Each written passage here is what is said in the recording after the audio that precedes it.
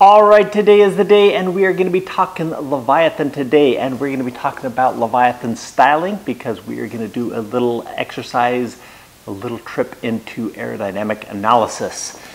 Now, you probably noticed that uh, Leviathan's a little bit different than the average uh, overlanding truck, the big boxy um, uh, Unimog, MAN, those kind of trucks. They're very big and boxy, and Leviathan has a lot of a different styling in it.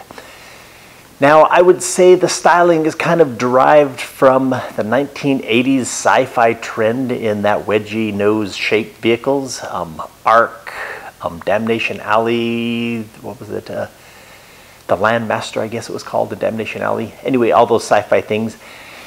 And that lineage is kind of carried through by David Levy when he created his uh, models for his design for the movie Prometheus. And when I saw some of those, it kind of solved some of the problems I was having in designing a nose that could have both a water pushing hole in the front and having that cab forward look.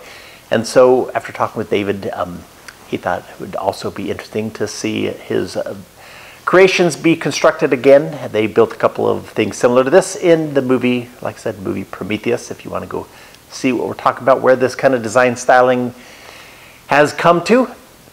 Anyway, today we're actually going to be looking at doing a aerodynamic analysis of it. I've gone to a uh, website called AirShaper. This is an app that you can go to online and they will do aerodynamic analysis. Now the founder of that company is a gentleman named Wouter and he is going to be taking and going through and doing, helping us actually.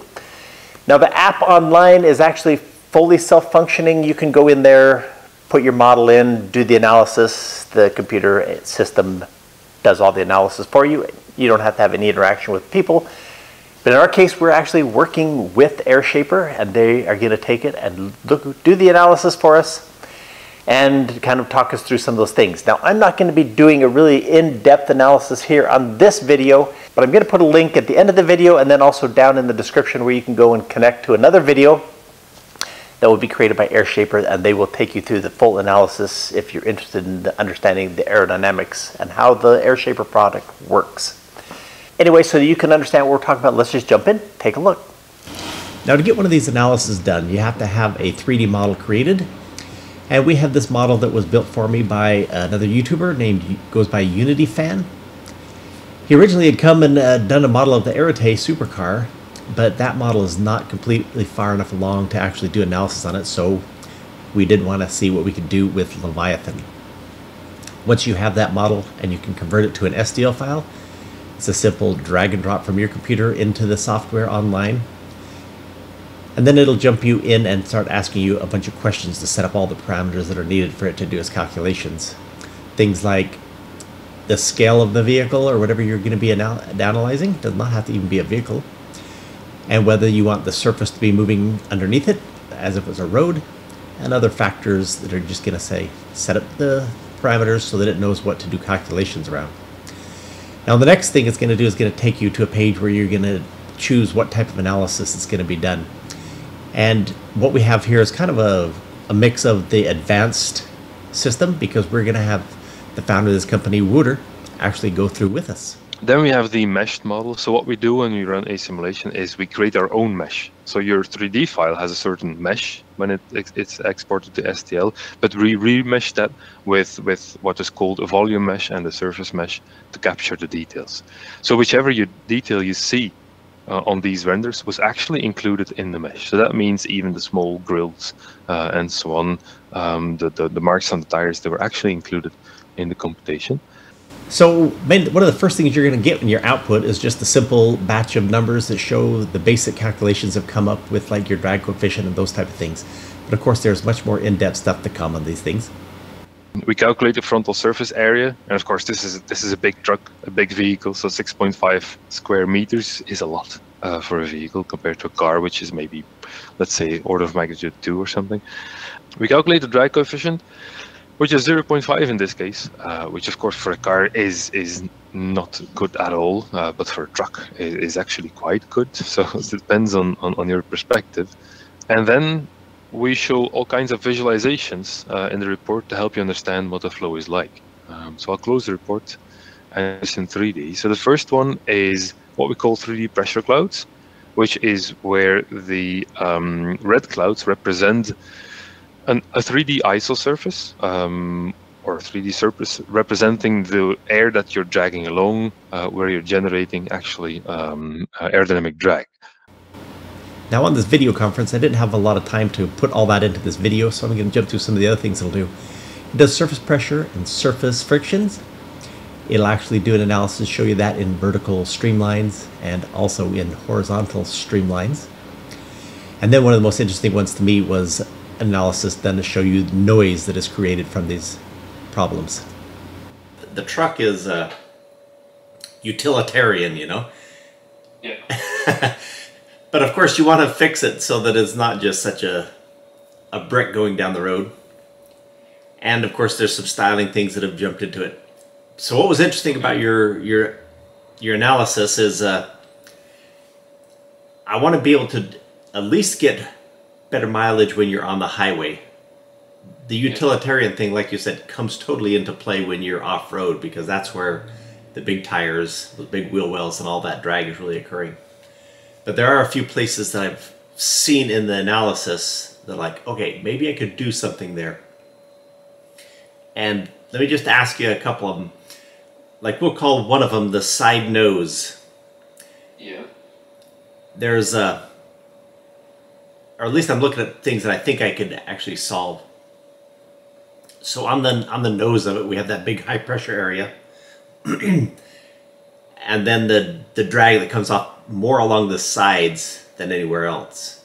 It's splitting and flowing pretty smoothly off the top and off the bottom, but on the sides, right below the doors, it's like forcing some air to go into a vortice, kind of slightly down. You mean this part? Yeah, so yeah. now one thing that I'm dealing with though too is uh, the whole cab of this thing is constructed by just sheet metal being bent on a big brake, and it's fairly heavy aluminum. Okay. So it, it does have hard bends, but I'm wondering if I could add like vortex generators or something that will just try to control that air a little more. And it's it's doesn't yeah. it doesn't seem to be one of the biggest points of drag, but when you switch over to your your noise video, uh, the picture, it's also one of the biggest noise creators. And that's right at the front where all that noise is going to translate right into the cab. Yes. Whereas noise behind it, you know, is, is as they say, it's, well, that's behind me. yeah.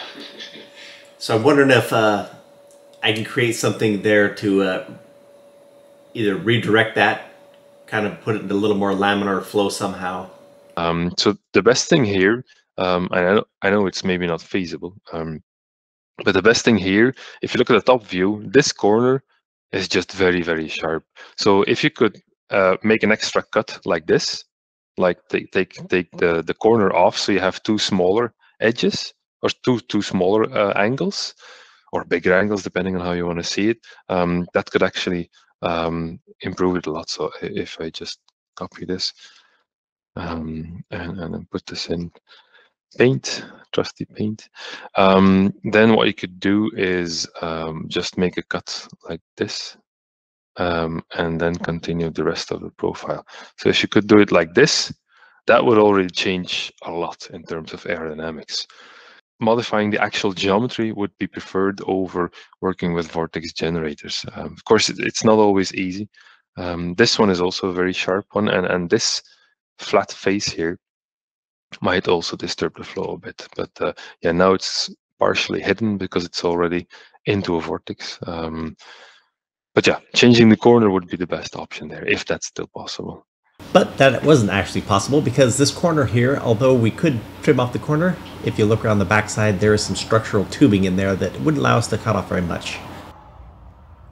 And the other one, of course, is at the very rear when it's coming off of that slope. I've already corrected that top sharp drop. That yep. one there, I rounded yep. it out. Okay. the model. Okay. But when it comes down, it's still a lot of that a pressure cloud is lifting up rather than being forced down towards the ground. Yeah. which is something that would probably improve it to. Yeah, so so if you add a round, then your separation will be postponed a bit, which might be nice. Um, still, it's a very steep angle for the air to follow.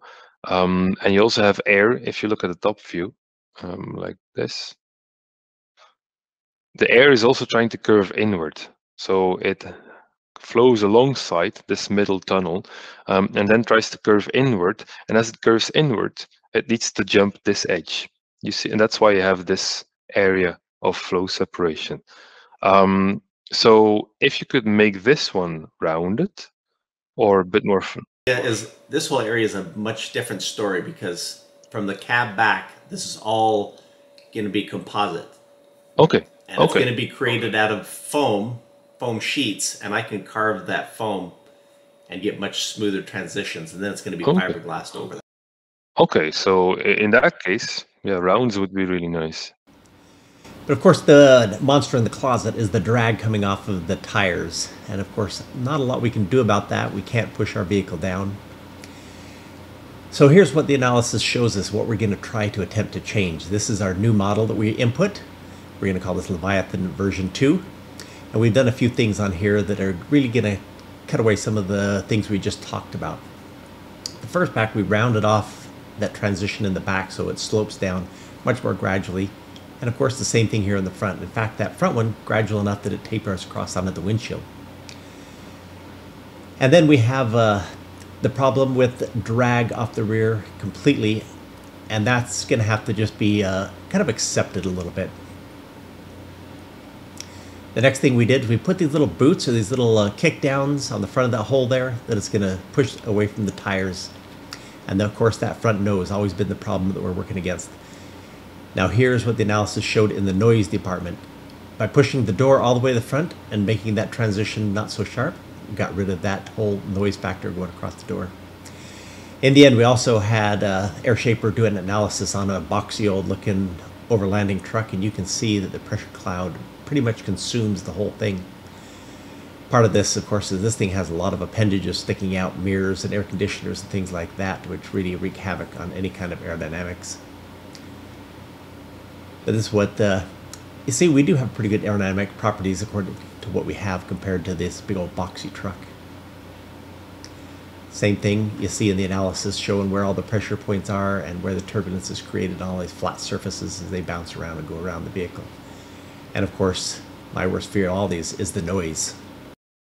Well, I think that's pretty interesting to see some of the changes that actually took place in the model. Not a drastic change from the two different versions of it, but very interesting, isn't it? How much more aerodynamics having a smaller frontal area and that pointy nose has given the model. Anyway, we are about to move forward and start building some of the structure of the cabin on that truck. And so all that form and function that you've just seen in the model and the aerodynamics analysis is going to be coming to life in the actual building of that whole big shell. Anyway, I hope you found this interesting like I said, make sure you jump down to the link in the bottom if you want to go see that video, or I'll just put a card up here right about now that you can jump over and see AirShaper's version of this video in the more technical analysis. Thanks for stopping by.